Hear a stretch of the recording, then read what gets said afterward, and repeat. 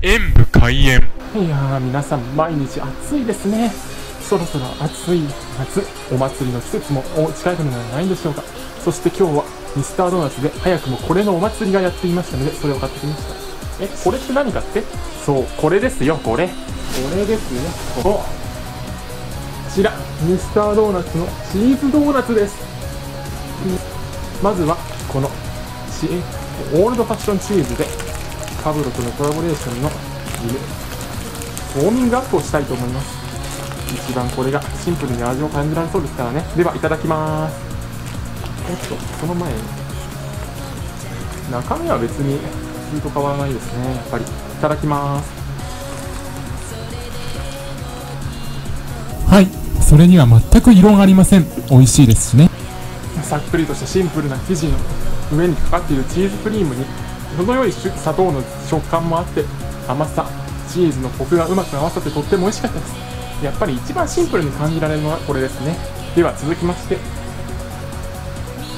販売前からチーズドーナツだタルトだと喧嘩になっていたこちらの2種類のチーズタルトを食べてみたいと思います。ご親切なことにフォークもつけてくれていますのでフォークを使って食べていきますね。確か1方がレモンでもう1方がアプリコットだったかな。ではこちらのアプリコットの方からいただいてみたいと思います。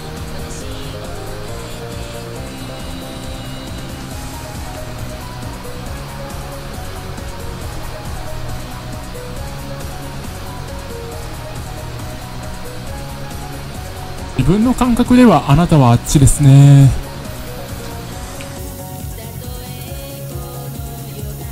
続きましてはこちらのレモンの方いただきます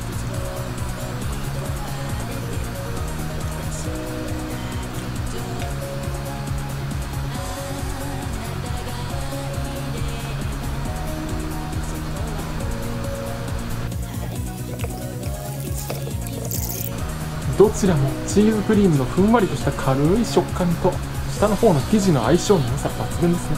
そこにそれぞれの果物の柑橘の甘みも入って酸味も入ってとっても美味しかったです。でそれを食べ終わった後にですね CM でも言ってたこちらのドーナツなのかタルトなのかあなたが食べて決めてください。ちょっと味わって決めてください。と書かれた文面が出てきたんですがでは決めさせていただきます。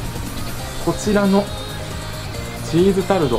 自分の中ではドーナツなのかタルトなのかと聞かれたらドーナツです。自分の中ではタルトと生地はやっぱりサクッとした食感があると思うんですけどこれはどっちかというとふんわり系でちょっとタルトとの生地とは違うかなと思いました。もうちょっとさっくりしていればタルトの方に入れたかもしれませんが現状ではドーナツですね。もちろんドーナツでも美味しいですよ。